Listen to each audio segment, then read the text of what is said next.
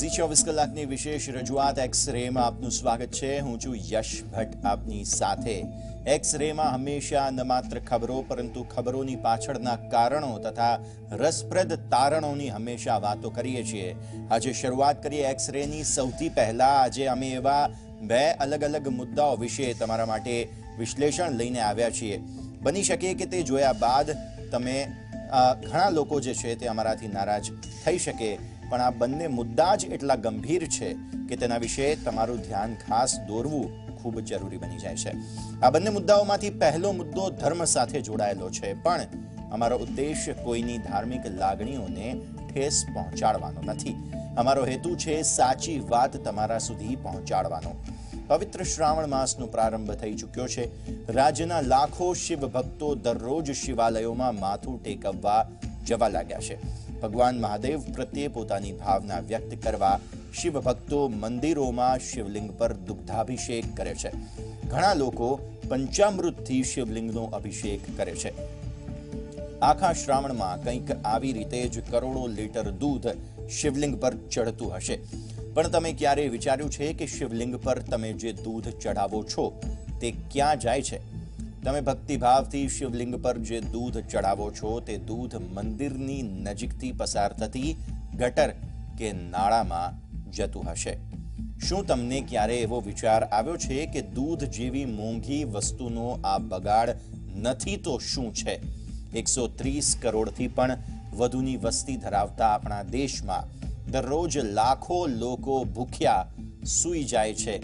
લાખો બાળકો કુપોષણના કારણે મૃત્યુ પામતા હોય છે. આવા દેશની અંદર દૂધની આ પ્રકારની બરબાદી ક્યાં સુધી યોગ્ય છે?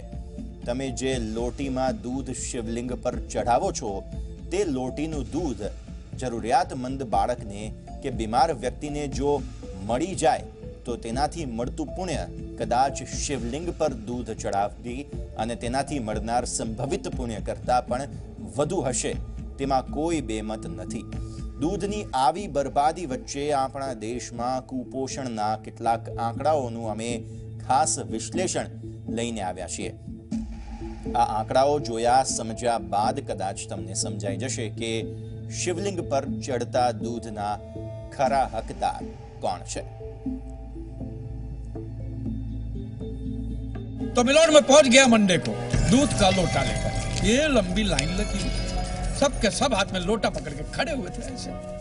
मैंने सोचा अंदर ज़रूर कोई दूध पीने वाला होगा वरना ये सब के सब गधे थोड़ी है जो ऐसा लोटा पकड़ के लाइन में खड़े। मेरा नंबर है मैं अंदर गया। अंदर कोई नहीं था दूध पीने वाला कोई नहीं। बीच में वो काला पत्थर पड़ा हुआ था। उसे शिवलिंग कहते हैं मूर्ख। हाँ शिवलिंग शिवलिंग पड़ा हुआ था। और वो पत्थर मिलो।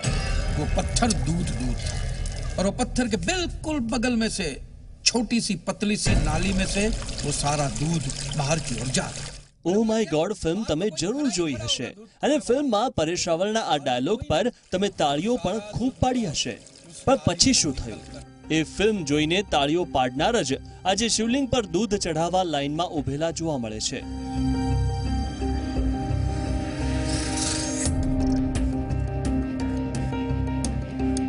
હવે જરા દેશની એક બીજી તસવીર પણ આપણે જોઈ લઈએ क्योंकि हमें देश को गरीबी से मुक्ति दिलानी है काम कितना ही कठिन क्यों न हो लेकिन देश का भला गरीबी की मुक्ति में ही है કેન્દ્ર સરકારે બે હજાર બાવીસ સુધીમાં દેશને ગરીબી મુક્ત કરવાનું અભિયાન છેડ્યું છે પણ દેશમાં ગરીબી અને ભૂખમરાના આંકડા એવા છે કે જેને જોયા પછી લાગતું નથી કે બે હજાર બાવીસ સુધીમાં ગરીબી દૂર થાય તમને જાણીને આશ્ચર્ય થશે કે વર્ષ બે હજાર પંદરમાં આખા વિશ્વમાં સિત્યોતેર પોઈન્ટ સાત કરોડ લોકો માત્ર ભૂખના કારણે મૃત્યુ પામ્યા હતા. તો બે હજાર સોળમાં ભૂખથી મરનારા લોકોની સંખ્યા હતી એક્યાસી પોઈન્ટ પચાસ કરોડ. એટલે કે દર વર્ષે આ આંકડો વધતો જાય છે. સંયુક્ત રાષ્ટ્રના ખાદ્ય અને કૃષિ સંગઠનના બે હજાર સત્તરના એક રિપોર્ટ અનુસાર ભારતમાં કુપોષિત લોકોની સંખ્યા ઓગણીસ કરોડ સાત લાખ છે. આ આંકડો દુનિયામાં સૌથી વધુ છે.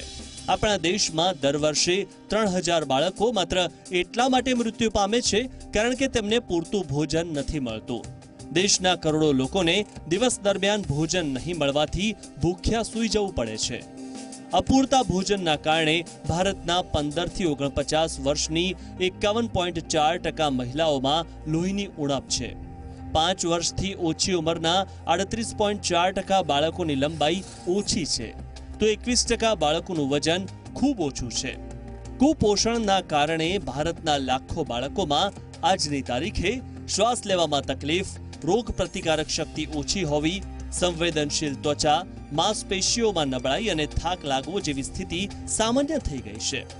એવું નથી કે ભારતમાં અનાજ નથી પાકતું. વર્ષ બે હજાર પંદર સોળમાં ભારતમાં પચીસ પોઈન્ટ બાવીસ કરોડ ટન અનાજનું ઉત્પાદન થયું હતું. આટલું અનાજ ભારતના લોકો માટે પૂરતું ગણાય. આમ છતાં લોકો ભૂખમરાનો સામનો કરી રહ્યા છે.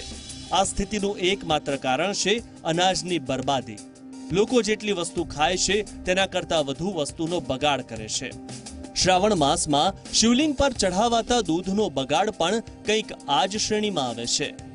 હવે જ્યારે તમે શિવલિંગ પર દૂધ ચઢાવવા જાઓ ત્યારે એ ગરીબ બાળકોનો ચહેરો જરૂર નજર સમક્ષ રાખજો કે જેઓ માત્ર એટલા માટે નાની ઉંમરે મરી જાય છે કારણ કે તેમને બે ટંકનું ભોજન નથી મળતું બની શકે તમારો વિચાર બદલાય અને તમારી એક લોટી દૂધ કોઈ ગરીબને જીવતદાન આપી દે જો આવો વિચાર ના આવે તો મહાદેવ મહાદેવ टोटल वेस्ट और वो गटर को लग के एक भिखारी खड़ा हुआ था बेचारा चार पाँच दिन का भूखा होगा महाराज। भूखे मारे वो काम ब्यूरो रिपोर्ट जे मीडिया शायद ये दूध ही पीना था लेकिन गटर में से कैसे तो उस भिखारी को मैंने मेरा दूध का लोटा दे दिया। और दूध पीकर उसने मुझसे क्या कहा पता है? भगवान तेरा भला कर।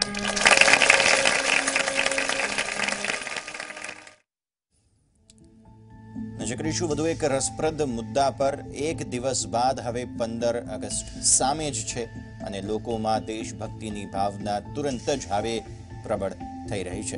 ત્યારે શાળા, કોલેજમાં સ્વતંત્રતા અને આ જે પર્વ છે તેની ઉજવણી થવાની છે. લોકો જય હિન્દના નારા લગાવવાના છે. દેશ માટે કંઈક કરી છૂટવાની લાગણીના ઘોડાપૂર લોકોમાં ઉભરાવા જઈ રહ્યા છે. પણ સોળ ઓગસ્ટથી સ્થિતિ ફરી હતી ત્યાં ત્યાં જ આવી જશે. આજે અમે એક ગંભીર બાબતનું વિશ્લેષણ કર્યું છે અને આ વિશ્લેષણ ખોખલી દેશભક્તિની વાસ્તવિકતા સામે લાવી દેશે. આપણા દેશના લોકો પોતાના હકને લઈને તો ઘણા ગંભીર છે, પણ ફરજો નિભાવવાનું તેમને ફાવતું નથી. કોઈને અનામત જોઈએ છે, કોઈને ઓછા ટકા છતાં સારી નોકરી જોઈએ છે, કોઈને ઓછું કામ પણ પગાર વધારે જોઈએ છે. અને જો તેમની માગ પૂરી ન કરવામાં આવે તો થાય છે આંદોલન. બસ સળગાવી દેવામાં આવે છે. ઘણી ઘટનાઓમાં તો વાત હિંસા સુધી પહોંચી જાય છે.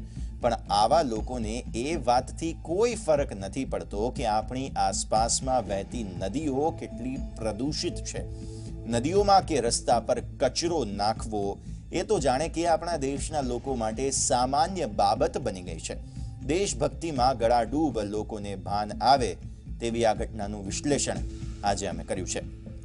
તમને જોઈને આશ્ચર્ય થશે કે નદીઓમાં પ્રદૂષણ મામલે ગુજરાત સમગ્ર દેશભરમાં ચોથા નંબરે છે.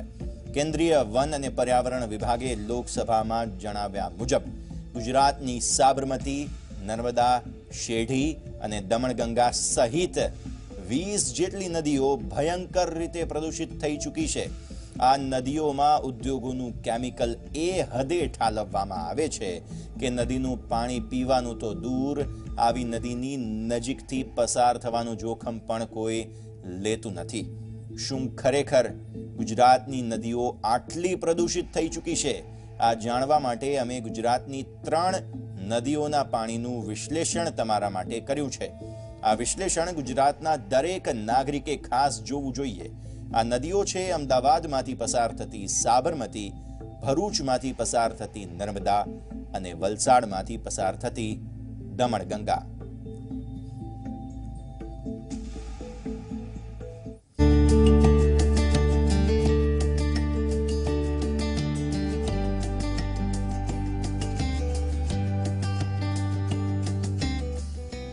વાહ કંઈક આ જ શબ્દ તમારા મુખમાંથી નીકળશે કે જ્યારે તમે જોશો અમદાવાદમાંથી પસાર થતી સાબરમતી નદી.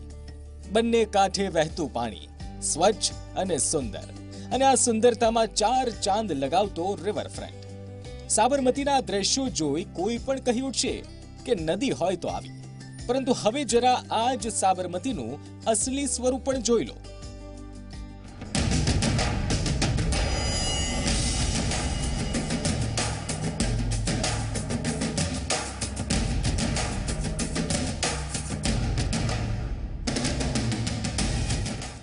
નદી કે નાળું? પાણી કે પ્રદૂષણ? આ દ્રશ્યો છે અમદાવાદના શાસ્ત્રી બ્રિજના. જરા જુઓ આ પણ સાબરમતી જ છે. પણ કમનસીબે અહીંયા ન તો સ્વચ્છ પાણી છે, ન સુંદર નજારા. અહીંયા છે ગંદુ અને દૂષિત પાણી. કંઈક આવી રીતે ઉદ્યોગોનું દૂષિત પાણી સાબરમતીમાં બેરોકટોક ઠલવાય છે. ન તો કોઈને આની સામે વાંધો છે, ન તો તકલીફ. વિવિધ ઔદ્યોગિક ગૃહો દ્વારા સીધે સીધું કેમિકલ યુક્ત પાણી સાબરમતી નદીમાં ઠલવાય છે. એટલે જે પ્રમાણેનો આ વિષય છે, કેન્દ્ર સરકારે આ વિષયની ગંભીરતાને ધ્યાનમાં રાખીને તેના નિરાકરણ માટે બસો કરોડ રૂપિયા ફાળવ્યા હોવા છતાં પણ ગુજરાતની નદીઓમાં વધી રહેલા પ્રદૂષણ મામલે કોઈ જ કામગીરી થઈ નથી અને હજી પણ સતત નદીઓમાં પ્રદૂષણ વધી રહ્યું છે.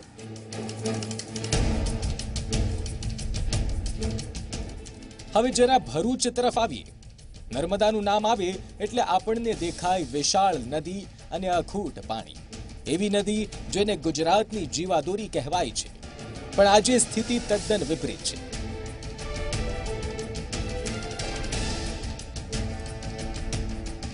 કોઈ દિવસ ભરૂચ પાસેથી નીકળવાનું થાય તો જરા દ્રશ્યો જોવાનું ચૂકતા નહીં.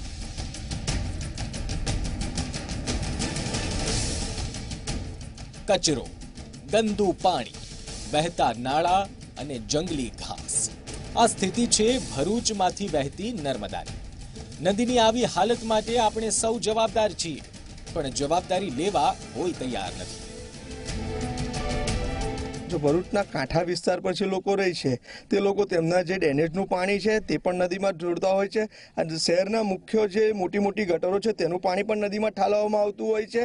જે ઔદ્યોગિક વસાહતો છે, ભરૂચ અને અંકલેશ્વર એક ઔદ્યોગિક વસાહતોથી સજ્જ છે. જ્યાં ઔદ્યોગિક વસાહતના કેમિકલ અને ગંદા પાણી પણ આમાં છોડવામાં આવતા છે. તંત્ર કેમ આની પર ઉદાસીન છે તે સમજાતું નથી. પ્રદૂષણ બોર્ડ પોતે બી કામ તો કરે જ છે, પણ આમાં દરેક લેવલે દરેક જણ જવાબદાર હોય છે. દાખલા તરીકે આજે હું પોતે એક જિમ્મેદાર નાગરિક તરીકે મારી પોતાની પણ એક રિસ્પોન્સિબિલિટી છે. તો હું એ જો બરાબર નિભાવું, તો મારા ઉપરનું, માનો કે નગરપાલિકાનું તંત્ર છે, તો એણે પણ એટલી જિમ્મેદારીથી પગલાં લેવા જોઈએ અને જ્યાં આવું થતું હોય તે અટકાવવું જોઈએ. હવે જરા વિચારો કે જો અમદાવાદ અને ભરૂચ જેવા શહેરોની નદીઓની હાલત ખરાબ હોય, તો વલસાડમાંથી પસાર થતી દમણગંગા નદીની સ્થિતિ શું હશે? જી હા. આ છે વલસાડની દમણગંગા નદીનું સત્ય.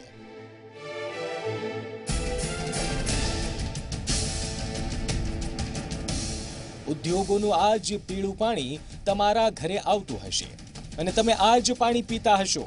ખુલ્લેઆમ, બેરોકટોક અને અવિતરણ ન કોઈ રોકવાનું, ન કોઈ ટોકનાર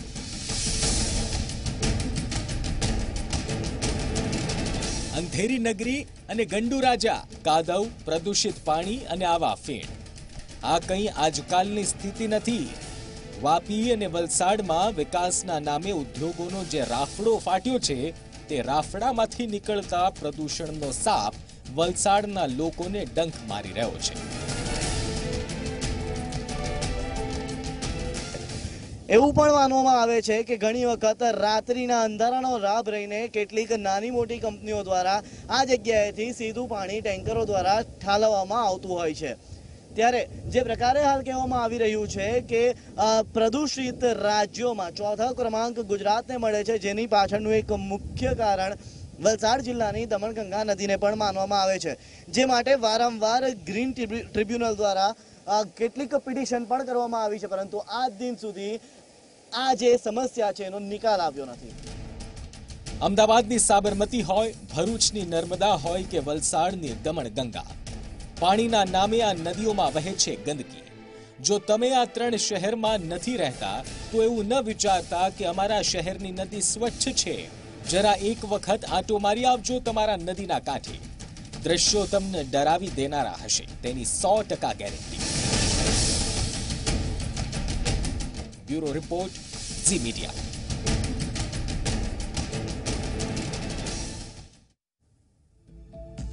તમે જે દ્રશ્યો જોયા નદીના, તે નદીઓને ભારતમાં માતા ગણવામાં આવે છે. નદીઓની પૂજા કરવામાં આવે છે.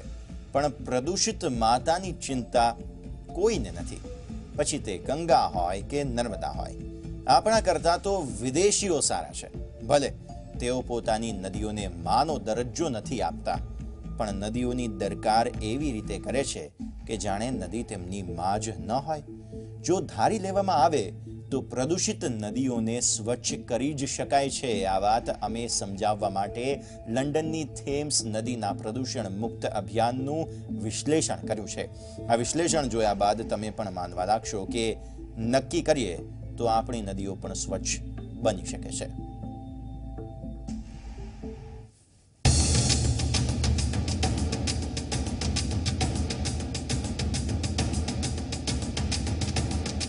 ઘણા લોકોને એવું લાગતું હશે કે આપણી નદીઓ ક્યારેય પ્રદૂષણ મુક્ત નહીં જ થાય.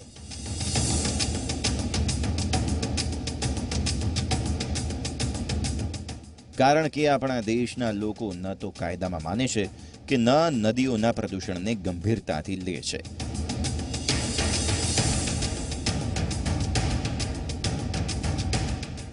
અમે તમને જણાવી દઈએ કે આવા લોકો સદંતર ખોટા છે. જો રાજનૈતિક ઈચ્છા શક્તિ લોક જાગૃતિ કડક કાયદા અને સામાજિક સંસ્થાઓ ઈચ્છે, તો આપણી નદીઓ પણ સ્વચ્છ થઈ શકે છે. આના માટે આપણે ઉદાહરણ લેવું જોઈએ લંડનમાંથી પસાર થતી થેમ્સ નદીનું. તમે જે દ્રશ્યો જોઈ રહ્યા છો તે લંડનની વચ્ચેથી પસાર થતી થેમ્સ નદીના છે.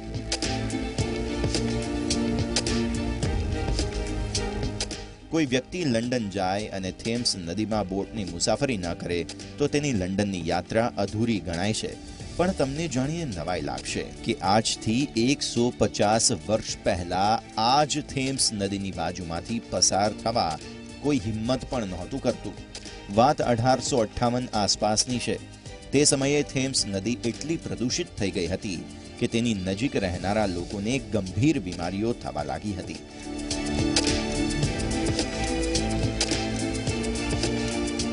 નદીનું પાણી પીવાનું તો દૂરની વાત. લોકો આ પાણીની બદબૂને શ્વાસમાં લેવાની પણ હિંમત નહોતા કરતા. સ્થિતિ એટલી ગંભીર હતી કે પર્યાવરણવાદીઓએ થેમ્સ નદીને મૃત નદી ઘોષિત કરી દીધી હતી.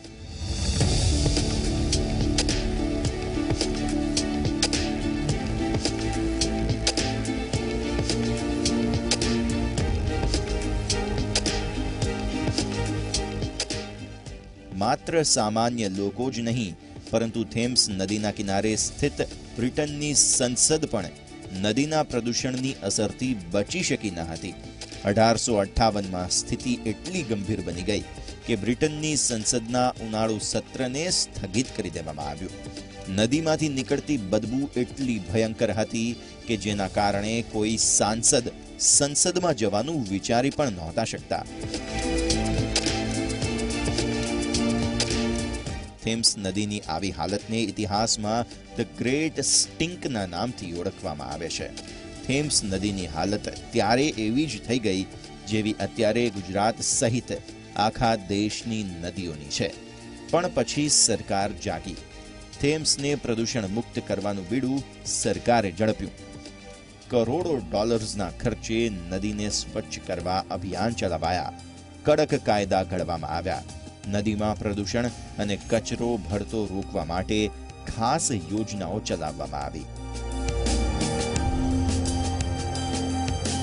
સામાજિક સંસ્થાઓએ લોકોને જાગૃત કરવાનું કામ કર્યું.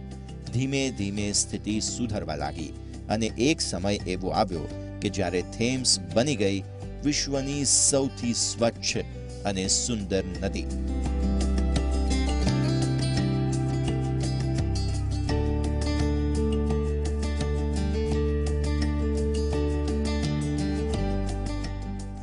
આજે તમે લંડન જશો અને થેમ્સને નિહાળશો, તો તમને માનવામાં જ નહીં આવે કે કોઈ સમયે આ નદી પ્રદૂષણનું પોટલું બનીને રહી ગઈ હતી.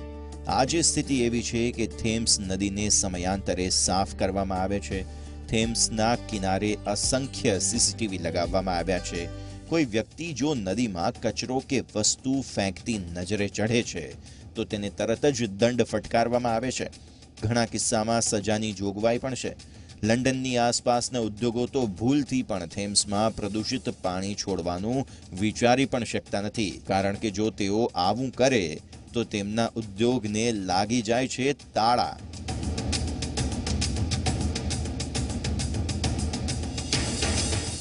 તો બોલો, આપણી સાબરમતી, ભાદર, નર્મદા અને તાપી ક્યારે બનશે Thames?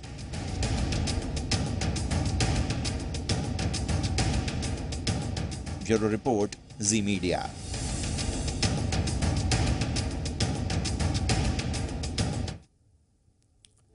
આગળ વાત કરીશું કુદરતે મચાવેલી તબાહીની. ભારે વરસાદ અને પૂરના કારણે દેશના અનેક રાજ્યો અસરગ્રસ્ત થયા છે. કેરળમાં છેલ્લા કેટલાક દિવસોથી વરસાદે કહેર વર્તાવ્યો છે. અને હવે હિમાચલ તથા ઉત્તરાખંડના હાલાત દિવસે ને દિવસે બગડી રહ્યા છે. શિમલામાં ભારે વરસાદના કારણે ભૂસ્ખલનની ઘટનાઓ સામે આવી, જેને લઈને શિમલા અને મંડીની તમામ સરકારી શાળામાં રજા જાહેર કરી દેવાય છે. ત્યારે હવામાન વિભાગની આગાહી મુજબ હાલાત હજુ પણ બગડી શકે છે.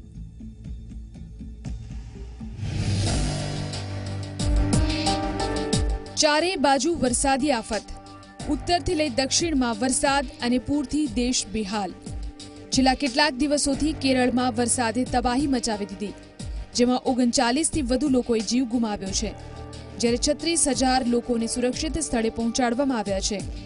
વરસાદી આફતમાં કેરળમાં કુલ આઠ હજાર ત્રણસો સોળ કરોડની સંપત્તિનું નુકસાન થયું છે અને દસ હજાર કિલોમીટરથી વધુ રસ્તાઓ ધોવાઈ ગયા છે. ભારે વરસાદથી દેશના અનેક રાજ્યોમાં જનજીવન ખોરવાયું છે. ત્યારે કેરળ બાદ હવે હિમાચલ અને ઉત્તરાખંડમાં હાલત બેકાબુ બની રહી છે.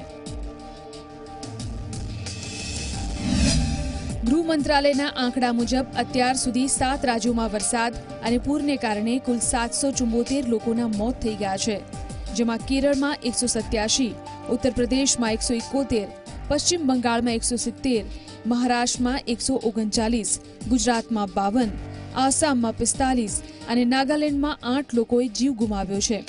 જ્યારે કેરળમાં બાવીસ અને પશ્ચિમ બંગાળમાં પાંચ લોકો ગુમ થઈ ગયા છે અને બસો પિસ્તાલીસ જેટલા લોકો ઈજાગ્રસ્ત છે. જ્યારે મહારાષ્ટ્રના છવ્વીસ જિલ્લા, આસામના ત્રેવીસ, પશ્ચિમ બંગાળના બાવીસ, કેરળના ચૌદ ઉત્તર પ્રદેશના બાર, નાગાલેન્ડના અગિયાર અને ગુજરાતના દસ જિલ્લામાં વરસાદ અને પૂરને કારણે સૌથી વધુ અસર થઈ છે. જેને લઈ રાહત બચાવની કામગીરી માટે આસામમાં એનડીઆરએફની પંદર ટીમ ઉત્તર પ્રદેશ અને પશ્ચિમ બંગાળમાં આઠ આઠ, ગુજરાતમાં સાત, કેરળમાં ચાર, મહારાષ્ટ્રમાં ચાર અને નાગાલેન્ડમાં એક ટીમ તૈનાત છે. ત્યારે હજુ પણ આ રાજ્યોને રાહત મળે તેમ લાગતું નથી. કારણ કે હવામાન વિભાગે સોળ રાજ્યોમાં ભારે વરસાદનું એલર્ટ જાહેર કર્યું છે અને આગામી બે ત્રણ દિવસમાં પશ્ચિમ હિમાલય વિસ્તાર અને પૂર્વ ભારતના અલગ અલગ વિસ્તારમાં ભારે વરસાદ પડી શકે છે. Bureau report Zee media.